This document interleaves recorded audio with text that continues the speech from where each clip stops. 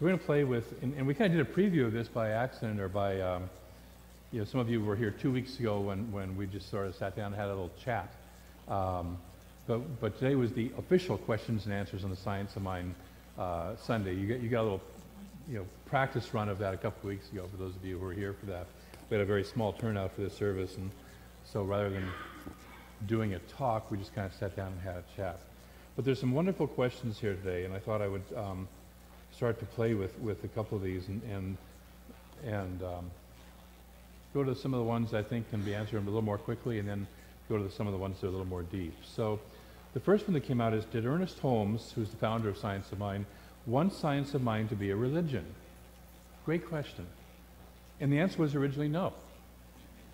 Originally, he saw this teaching as something that any Catholic, Jew, Protestant, uh, Muslim, anybody could follow, atheist, could follow and apply without ever leaving their church, without ever leaving their teaching. Because it's, a, it's the core of every teaching. Every teaching has this in it somewhere. And so he originally didn't see this as a standalone religion, a standalone teaching, but something to supplement or to bring out the best of every other religion. Okay? That was his original intention. Now what happened is, a whole lot of people would start listening to his lectures, and they would come up to him afterwards and say, look, you know, I, I spent the morning at my church, and I spent the afternoon listening to I'm the beloved of God, and they're teaching me that I'm a sinner, you know, and going to hell if I don't do it just exactly right. I can't listen to that stuff anymore. Can you do something about that? And so out of that process became more of a religion. And even still, the best way, as, as Reverend Mary knows, to start an argument among a group of, of religious science ministers is to ask, are we a religion? You know? And, and half of them will say yes, and half of them will say no, and, and you know, there will be this big discussion, and, and it's about the same as, as asking, are we Christian? You know, you can get that argument started also. And so, and the answer is yes and no. You know, it, the answer really is yes in Ernest Holmes terms, but, but a whole lot of people don't want to be associated with the traditional what Christian is, and we're not. And so, um, so was it a religion originally? No. But out of the need, out of the necessity, out of the fact that people didn't want to listen to some of the old style religions they were hearing, it formed into its own standalone teaching, philosophy, way of life where we now have centers. But this was not the original vision of, of, Ernest. He did come around to it and have this and said, yeah, yes, let's do it. And he was, he was um, um, licensing ministers and, and, and all that, uh, you know, after, you know, a, a fair, fairly short time. Does that answer whoever's question it was pretty well? Yes, thank you. Okay. So it wasn't necessary to start it off. How can knowing spirit be a science? How can knowing spirit be a science? Science is involved in observing what is. You know, the Greeks were actually the start of Western science. And they observed the outside world. What is? Just what's happening? What is it about? It's observing, it's observing, it's observing, and learning and learning and learning. And that's what science is about. And so when we work with the science of mind, and this was originally called the science of mind and spirit, and mind is not necessarily our individual mind. Mind was Ernest's code word for God. It's mind with a capital M. It's mind of the universe, the whole oneness of the universe. And so what is that that um, what we're doing is observing the mind and observing then the relationship with spirit and how if we get into alignment, as our reading said, our lives improve.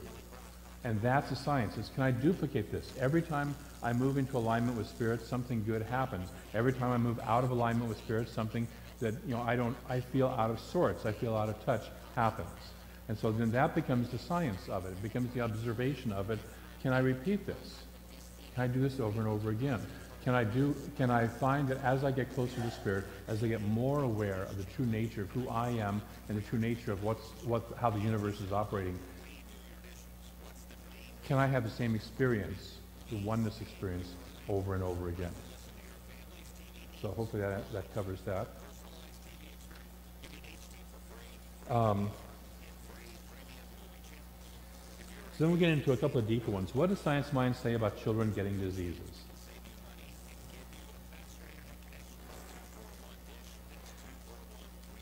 my teacher, Reverend Kathy Ann Lewis, was uh, one time at a, a, a ministers' conference uh, with um, a number of ministers from all sorts of different denominations, and and a couple. She was having a conversation with a couple of them, and, and they said, you know, yours is the toughest teaching, the toughest religion to follow because you don't have a devil to blame things on. You know, you take personal responsibility for everything. You know, it's tough. And so we have what's, what can be called a hard teaching. So children getting diseases is that somewhere, either within them or within their environment, something is out of alignment. Right now, Oliver has a cold. My, my little five-month-old, um, uh, you know, foster son. And, you know, we were talking about that. Cynthia and I were just talking about that yesterday. It's like, so, what is this about?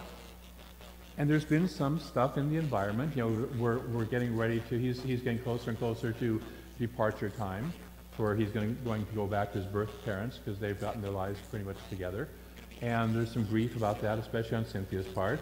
And there's been some, some congestion, let's call it, in the atmosphere around him. And so it's like children act out in three dimensions what's going on around them. That's one of my teachers used to say. And so children getting diseases may not be, and, and this is, um, this goes back to this great question that, that one of the disciples asked Jesus when he was healing somebody. He just healed somebody. And they said, so whose sin was that? Was that his sin or was that his father's sin? Because in the, in the Hebrew text, they believe that the sins of the father are, are visited upon the son, right? And so it, it's like, so was this, did he do something wrong that God punished him? Or was it somewhere in his lineage that somebody did something wrong that God punished him? And Jesus' answer is none of the above. This is to glorify God. This was to glorify God. The healing of the young man, the healing of that person, and even the disease itself, to go through the process, is always to glorify God, is always to bring out the bestness, is always to give us something to bring out more of the God nature that I am. How many of us have had some sort of disease, and it may not be a physical disease, it might be a disease of our job, it might be a disease of our relationship, that when we get through it, we recognize that we are stronger, better people for it. Okay? We all have. Some of us just decide to start that agenda young, don't we? My personal belief, and this is not a science of mind teaching, my personal belief is that we're conscious, and I think Ernest would, I know Ernest would agree with this, we are conscious before we ever take form. Okay? And so we may come in with an agenda that says it looks like this. I, I personally had a view of my life. I had a, a, a, challenging childhood. There's people who've had far worse than I did, and people who've had far better, but I had a challenging childhood. And at one time, probably about 10, 15, probably about 15 years ago, I was sitting in meditation. It was suddenly like I was lifted up to a mountaintop, and I could see my whole life spread out before me. And I realized that, that the toughness I had was for me to heal a belief that I came in with to get over it. And so that belief in this case was that I can't experience God's love in human form. That I can experience God's love as spirit, but not here on earth. Here on earth, God's love does not exist for me. That was the belief. Now, is that the truth? No. But I set up the experience of not experiencing God's love pretty profoundly and pretty thoroughly so that I could have that and get over it. Does that make sense? We don't have our challenges because we've done something wrong. We have our challenges so we can get over it and experience what we really want to experience, which is oftentimes the counter or the opposite of that. So our children come in, they may be influenced by the, the consciousness around them. They may have come in with their own agenda that we don't necessarily know what it is in consciousness. So ours is not to judge them. Ours is not to say this is good, bad, right, or wrong. It's to provide them with all the supports we can for their health and wholeness, which is what Jesus did with that guy. He didn't sit there and go, yeah, uh, how'd you get here? You know, he never walks up to a person that he heals in, in any of the times and says, hey, well, what, you, what in your conscience caused that? You know, he doesn't do that. He just heals if they ask for it. So does that help with, who, with whoever asked that children, the question about the children and diseases? Was that a yes or? It's okay. We're good. This is one that really touched my heart. Um, I never feel satisfied. And what does science of mind say about that?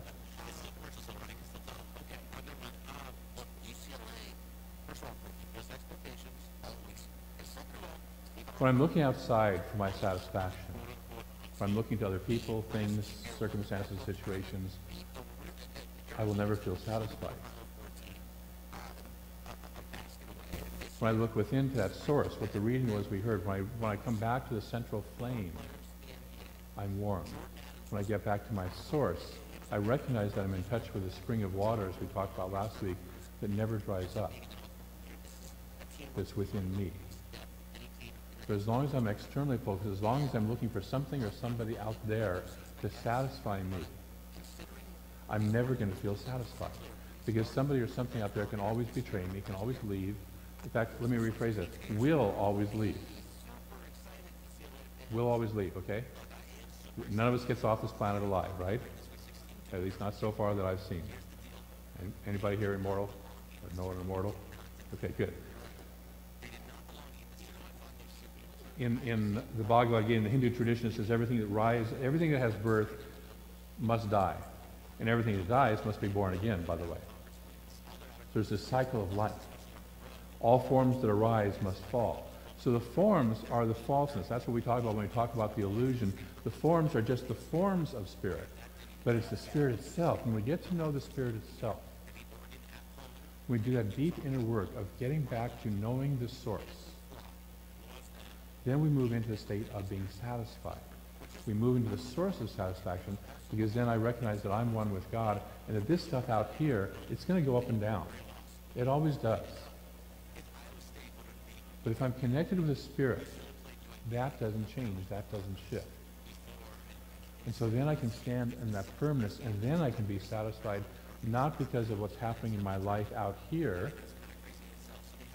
but because of who I recognize that I am and always have been and always will be, and what it is that I recognize I'm connected to. So satisfaction comes from, and, and you know, in the, in the reading today, you know, Ernest talked about, about it. Um, a change of consciousness does not come by simply willing or wishing. It's not easy to hold mental attention to an ideal while the human experience is discordant, but it is possible. And so we must be like God if I wish to realize God's Spirit in my life. And so that's recognizing my oneness with an infinite presence. That's taking that in. That's opening to that love. That's opening to that constantly flowing spring of life, that source. And it's, again, not always easy. You've noticed, right? I've noticed. Yeah? But it's there. And so we keep turning back, we keep turning back. We keep in the midst of difficulties having, you know, I, I talked about this yesterday at the Intentions Retreat uh, workshop. Have a mantra, and I talked about this a couple times before. Have a mantra, have a phrase, have a something that pulls you back. You know, for me, oftentimes it's there's only one life. There's one life. There's only one life. To Get out of discord, out of when I get into discord, excuse me, I remember and remind myself there's only one life, or God is all there is. Those are kind of my two catchphrases. I know Reverend Mary mentioned one yesterday in class that she had. It pulls her back, pulls her back. And so we have this bridge. So we can either go into the deep chasm of unhappiness, dissatisfaction, or we can shortcut that chasm by creating a bridge across it with our consciousness, with a phrase, with a word, with a, you know, Eddie Watkins helped us last Sunday create tunes, you know, whatever it is that it takes. You know, I don't care if it's a Hindu chant or, or you know, whatever it is, something that pulls us back out of that chasm and instead becomes a bridge to the other side and shortcuts the chasm. And what that is, is recognizing the oneness of the divine in some way or another. And our oneness with that infinite presence.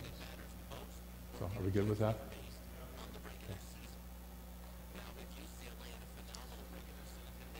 Next question. Generally, I like these to be personal, but um, i kind of talked about this a, couple, a few weeks ago. I don't know if it was this service or the second service. How do we resolve the terrible things that ISIS is doing, like beheading and burning alive people with our teaching? I hope they're not burning people with our, with our teaching, but, but how do we resolve that with our teaching?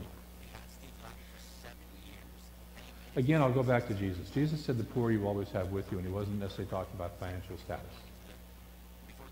So whether it was Emperor Nero burning Christians to use for light in his garden.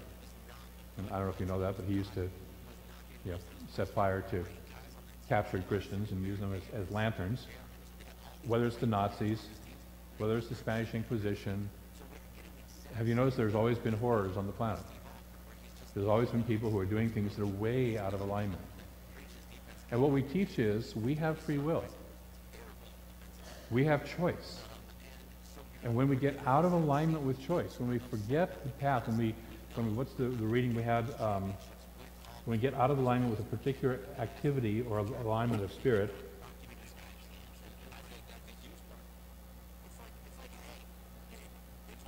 do we come, uh, here we are, when we are out of harmony with some special good, when we are out of harmony with spirit, it is because we are off track along that particular line of the activity of spirit. And some people get way off track. Have you noticed? Some people get way off track. It doesn't mean a teaching is good or bad. Some people use the same teaching. The same principles will work. I don't see this too often. I'm going to challenge, I may, I may push a couple buttons here, okay? So I'm going to just take a breath ahead of time. When September 11th happened, when the planes flew into the buildings, a few days after that, I heard about some of the background of that, and I said, you know what? They use the same principles that we teach to create that. They use mastermind principle. They use wherever two or more are gathered with the same intent. They have these sleeper cells sitting in, in, in you know, around the country with a clear intent. They thought they were doing God's work. Okay? They, they visualized it. They mapped it out. They did everything they needed to do. Same principles that we teach. And we can use the same principles just like, like we can use electricity to kill somebody or save somebody's life. It doesn't invalidate electricity or say electricity is bad when we use it to kill somebody. It's not the electricity that's the problem, is it? It's our use of it.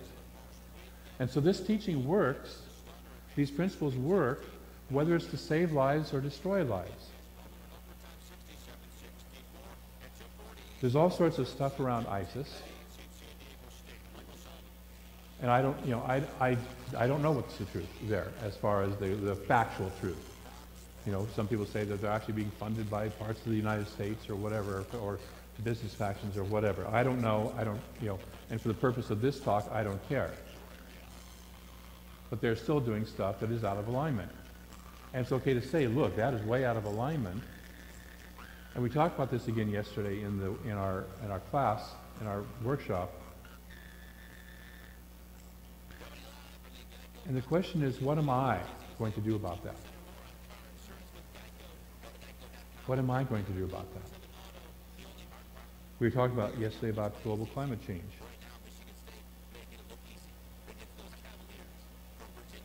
And people complain about global climate change, or they argue that it's not happening, or whatever.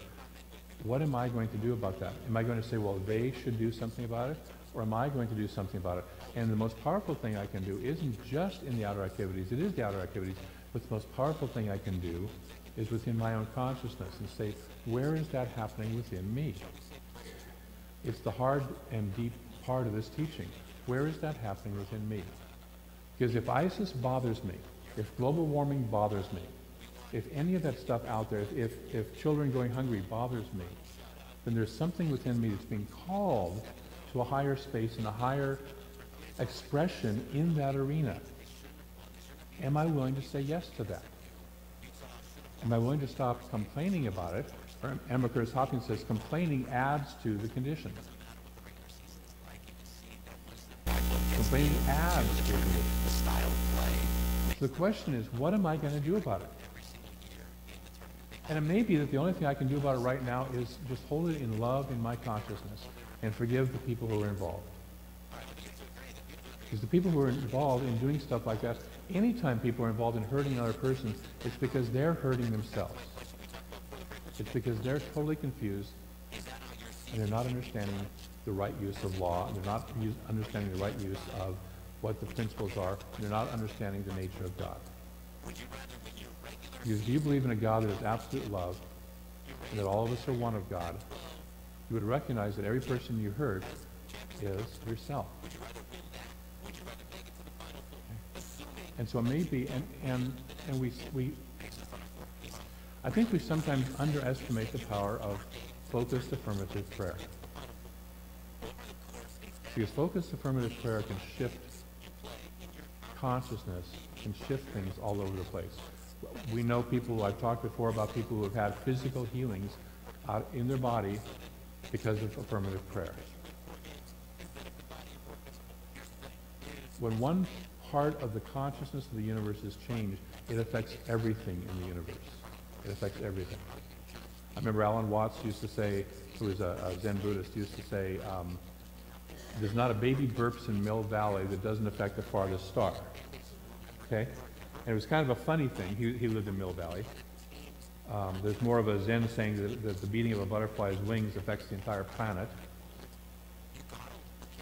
And so if we start in consciousness, instead of looking at ISIS and saying, oh, isn't that horrible?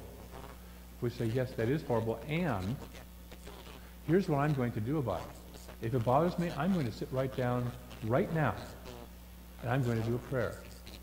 If it bothers me, I'm going to call a practitioner and help and ask that practitioner's help to get me centered so I can be a powerful change agent for good in this world. I'm going to do whatever it is that I need to do. If I feel called to write a letter to somebody, a politician, I will do that.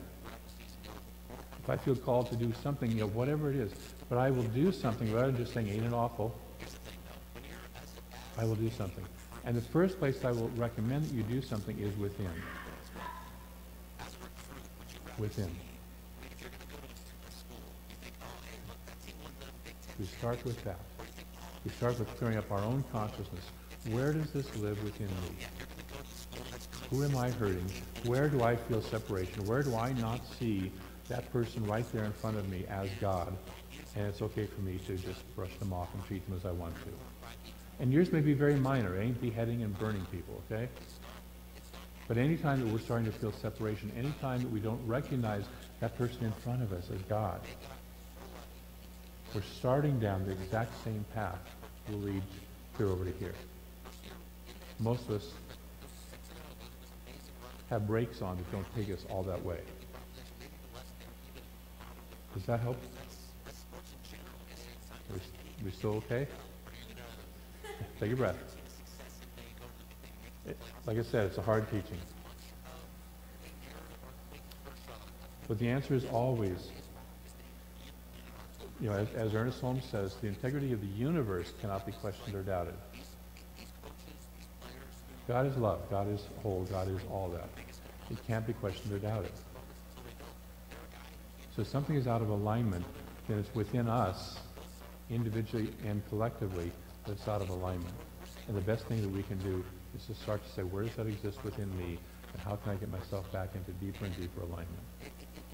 I remember Michael Beckwith one time talking about that he was he had done a lot of work to really clean up his life, to really to really move into being the most deep spiritual being that he could. And he was having a dream one night, and he said it was like he was wearing this white jacket that had a couple of little dark spots on it. And recognizing that he needed to clean up those two little dark spots on his white jacket. He said he ended up literally on the floor, curled up in a fetal position, crying and going, I don't want to be that spiritual. You know, I want to have a little bit of, you know, something left other, than that. You know, and sometimes it feels that way. You know, I just got a, um, a, a, strong invitation from, from my doctor after not seeing a doctor for about 15 years that suggested that I um, clean up my diet and exercise a little more and lose this. And there's a part of me that's sitting there going, I don't want to give up my chocolate cake. Know? I'm not having brownies, by the way, this morning. Thank you. Um, you know, there, there's this there's this part of me that's just like, no, I want to I want to be able to eat saturated fats and and you know all that you know horrible stuff for you. It tastes so good, you know. But there's a part of me that says, you know, and more than that, I want to live and live well, and live healthy, and enjoy my body. And so I make the choice to do the hard thing, the hard choice, say, and at the same time, I'm going out walking. I'm changing my diet. I'm dropping all that stuff that she suggested I drop. And I have been, by the way. I might win the contest out of necessity. and so that's oftentimes what we're called to do in the universe, is we're called to say, what's the next layer? What's the next level that I can let go of that has kept me separate from the infinite source, the infinite good? So that's, when we look at something like whether it's ISIS, whether it's Nazi Germany, whether it's the next thing that comes along down the road, there's a call that says, how can I, as a spiritual person, approach this with integrity, with love, and with harmony of spirit, and standing in the power of the divine? Because Ernest Holmes said, if we use these teachings just to cope with our lives, we're misusing the teachings. So it's not a case of I'm just going to sit there and, well, there's nothing I can do about it. That's not what I'm talking about. It's not a bury your head in the sand, nothing I can do about it. That's not what I'm talking about. What I'm talking about is we stand in the power of God that we are, recognizing that we are the love, which is the nature of the universe, and we move into alignment with that, and we declare that that is not only true here in this spot, but it's true everywhere in the world, including every spot where a person from ISIS is. We remember the truth that they are also God, and we, held, and we hold that in truth until they remember it too. It's what a practitioner does with a client. You know, when you go to see a practitioner, it's usually because you've forgotten that you're God in form in some aspect of your life, and you sit down with a practitioner or the minister, and they help you to remember that. They hold that solidly for you until you remember it. And so you become a practitioner of this world every time you get a call on the news, whether it's, you know, whatever news item it is, to say, look, I'm going to do something different. Your friends may all be running around going, ain't it awful, ain't it awful. I'm going to do something different. I'm going to stand in the power of God that I truly am and declare that there's a different outcome going to happen. Are we good with that? Okay. A friend of mine used to say that, I, that she used, used the news as prayer requests. So list of prayer requests for the week when she watches the news. Different way to watch the news, isn't it? And then finally, what does quantum physics have to do with science of mind? Nothing. Actually, I love quantum physics. Ernest was, was aware of quantum physics. Quantum physics was pretty young when he was writing the Science of Mind textbook. But quantum physics is a wonderful way of looking at the universe that, that recognizes the, the what do I want to say? Um, the flexibility.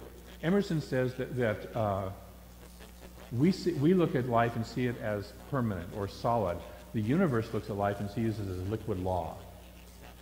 Okay? And quantum physics starts to say, starts to prove and starts to demonstrate this liquid law, that everything is in constant motion, constant uh, flux, you know, moving from wave to particle, wave to particle, wave to particle, depending on what? Our observation of it, depending on our intention. Gosh, doesn't that sound a little bit like what we teach? Your life will show up as you intend it to. As you keep your intention strong enough, focused enough, long enough, it shows up as that. And so quantum physics is really a wonderful way. Quantum physics actually is kind of the science behind science of mind. And it's being proven more and more. It talks about there's infinite possibility. There's not just this many little you know, factors. It's infinite possibility. And so are we willing to play in this infinite possibility? It is the science behind science of mind. It is that which, which brings what we teach into scientific, um, the scientific paradigm, the scientific arena, and says, yes, there is scientific background for us. People have taught this teaching for this, this teaching, what we teach is not new. I mean, Jesus taught it, you know, Buddha taught it, the Hindus taught it. It's been taught for, for thousands of years you know, in a couple of cases they call it um, uh, New Thought, Ancient Wisdom. And so it's just ancient wisdom. But what was being done before was it was being intuitive. You know, the Taoists intuit. If, if you read the Tao Te Ching and some of the, the, the, the, the cosmology of the Tao Te Ching, it's the intuition of the universe as scientists see it today. You know, one of my teachers used to say that the scientists will arrive at the mountaintop and find the mystics already sitting there because they've intuited it. They knew it. And so what quantum physics is doing is catching up with what our intuition, what our mentality, what our consciousness already knows. And saying, yeah, and by the way, this is how it works. So that's, what, that's one, of the, one of the many things that quantum physics has to do with science of mind. So that's the questions that, that I got, and I thank you for those questions. They were caring and deep and, and honest. So uh, I appreciate that. So let's move into prayer. I'm taking a deep breath. Hmm. I'm so grateful to know that there's one source. Of all the places that we could be today, of all the teachings that we could be involved in today, we've chosen this one.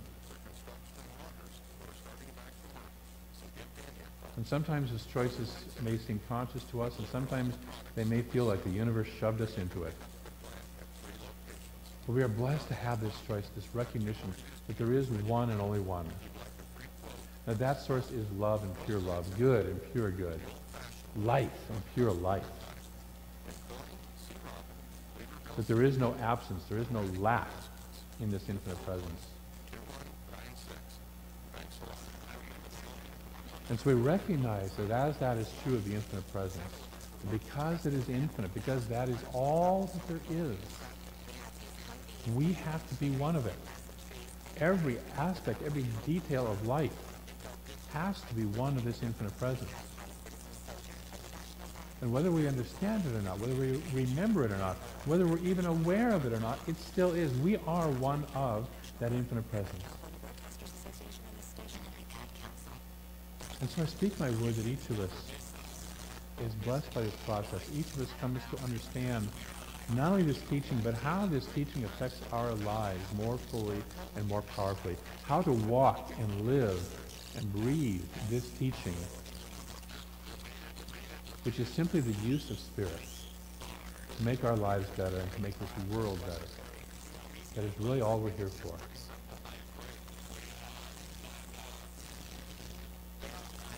We're here to be at one with the infinite and a one with this world, which is part of the infinite, an expression of the infinite. And so I'm grateful that we have said yes to this. I'm grateful for the good that comes from this. I'm grateful for our willingness to be a part of this dance of life, part of this awakening, waking up to the truth of who we are. And so I bless each person here. I call each of us good.